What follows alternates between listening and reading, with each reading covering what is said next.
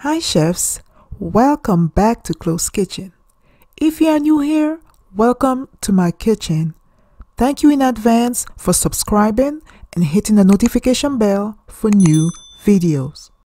I hope that everyone is doing well physically and mentally.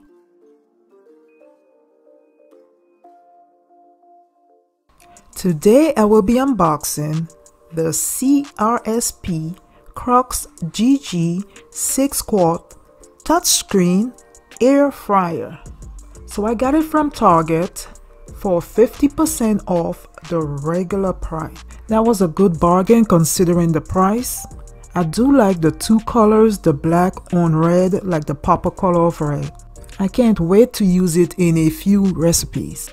I believe 5% of the proceeds from my purchase went to fight for food insecurities.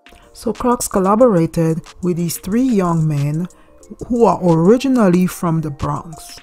On the box, it tells you a little bit more about them and what they represent to their community and other communities just like theirs. So let's move on to the unboxing. Guys, check out this beautiful packaging. Wow, this is fancy. So the first thing that I noticed is the instruction manual and on the first page is a picture of Ghetto Gastro.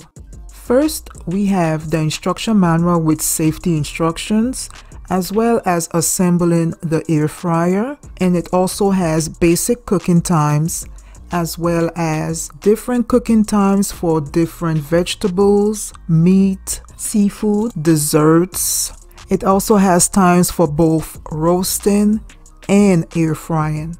Surprisingly, it has cooking times for desserts like cake. It has maintenance instructions. And this air fryer comes with a two-year manufacturer warranty.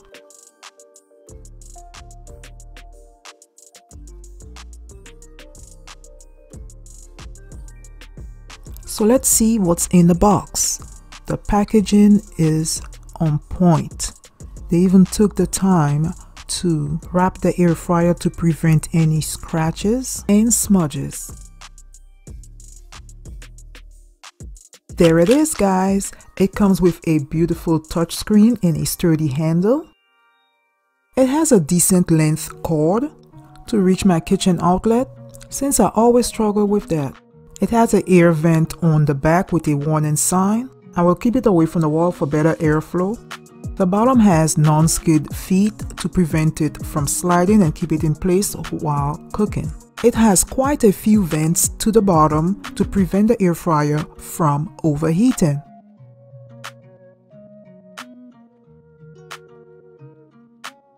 So let's pull the tray out to see what the inside of the air fryer looks like. This section of the air fryer holds the frying basket this air fryer has a heating element above the frying basket, which is very similar to a stove heating element, and it has some additional air vents.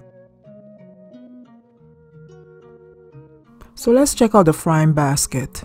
This handle stays cool while cooking, which is a plus. So this is the frying basket. It is pretty light as far as the weight. Now we didn't mention if it's non-stick. So Inside of that pan is the non-stick cooking tray and it comes with four rubber grips to keep it in place whilst it's in the pan.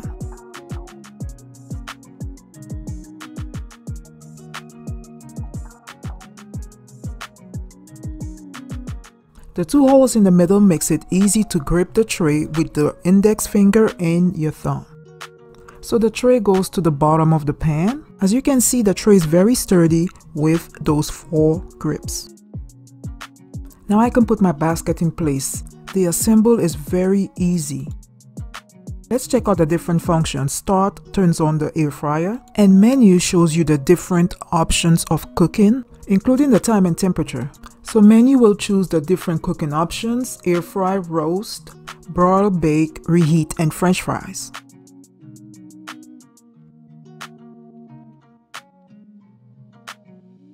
So next we have the cooking time.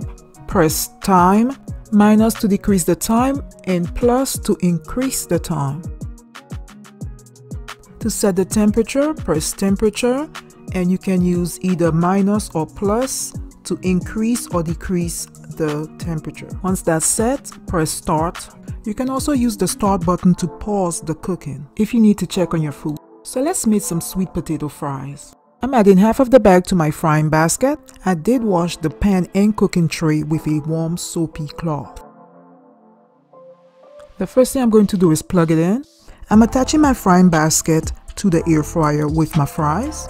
I'm going to try and air fry it for 20 minutes on 400.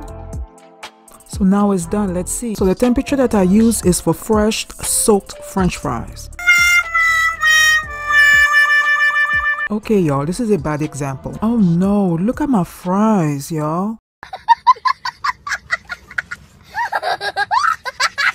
so let's move on and make some veggie chicken burgers from Morningstar and I'm going to put that at 360 for about 2 minutes. I had to improvise because we were out of buns and homemade mayo.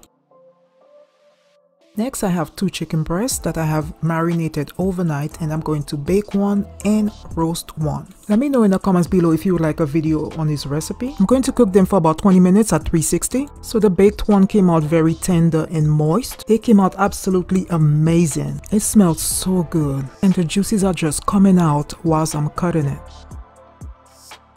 Check this out y'all. I am a happy camper. I am not disappointed one bit. Let me know in the comments below if you've ever used an air fryer.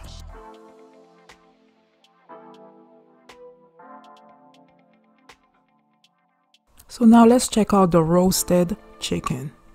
It is crispy on the outside and juicy on the inside. The inside is still tender and moist.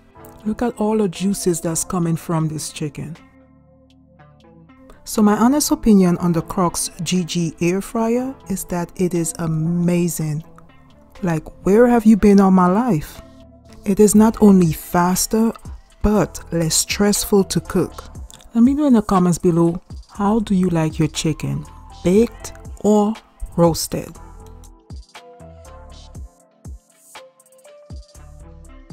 So y'all know what time it is. Time to eat. I decided to have some of the baked chicken with some mac and cheese and a side of steamed broccoli. Gotta have some veggies. I definitely will be trying out other recipes with this air fryer. I hope that you guys have enjoyed watching this video. Don't forget to subscribe and like this video. And as always, keep cooking chefs. Bye.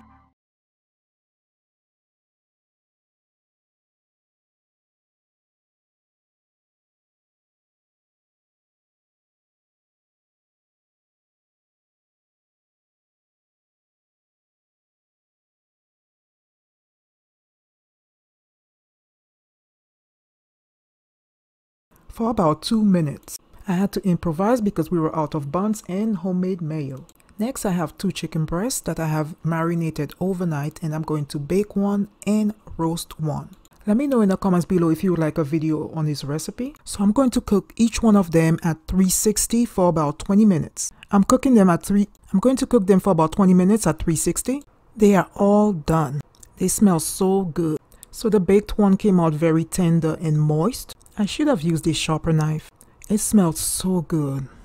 They came out absolutely amazing and the juices are just coming out whilst I'm cutting it. Check this out y'all. I am a happy camper. I am not disappointed one bit.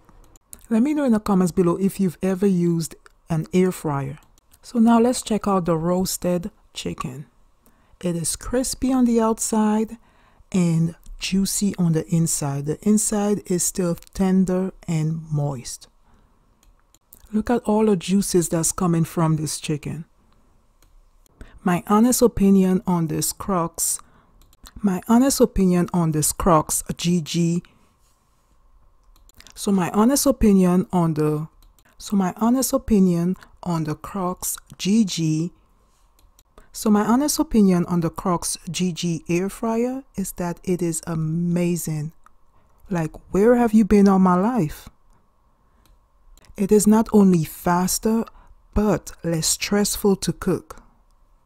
Let me know in the comments below how do you like your chicken, baked or roasted? I hope that you guys have enjoyed watching this video. Don't forget to subscribe and like this video. And as always, keep cooking chefs. Bye. I definitely will be trying out other recipes with this air fryer. I serve my chicken with some mac and cheese and a side of broccoli. So y'all know what time it is. Time to eat. So I'm having some of that baked chicken with some mac and cheese and a side of broccoli. I'm having some baked chicken with some mac and cheese and some steamed broccoli on the side. So I decided to try out the baked chicken with some creamy macaroni and cheese. I decided to eat the baked chicken with some mac and cheese and some steamed broccoli. I decided to have some of the baked chicken with some mac and cheese and a side of steamed broccoli. Gotta have some veggies.